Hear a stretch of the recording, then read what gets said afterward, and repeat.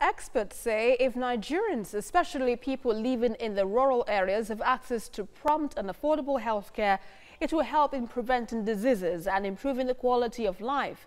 Abiola Sholanke was at a healthcare mission in Lagos where free medical services were offered to some beneficiaries.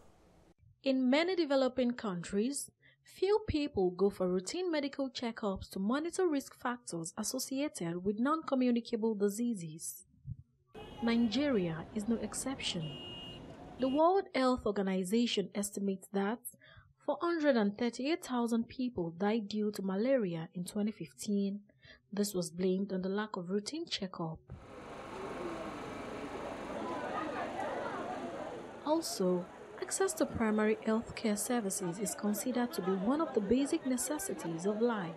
The people of Oronshuki area of Lagos were beneficiaries of free medical screening brought to their community by the Rotary Club of Wagada.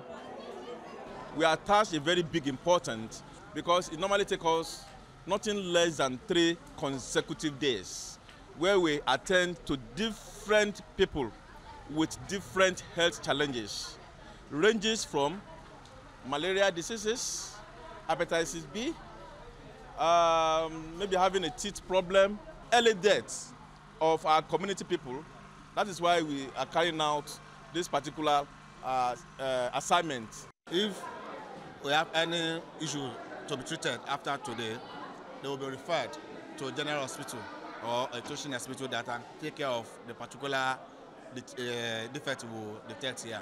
Now, of course, we also have their numbers that will be calling on them to do, especially for those who have special ailments that can, so that we can follow up and see if they've gotten the proper attention.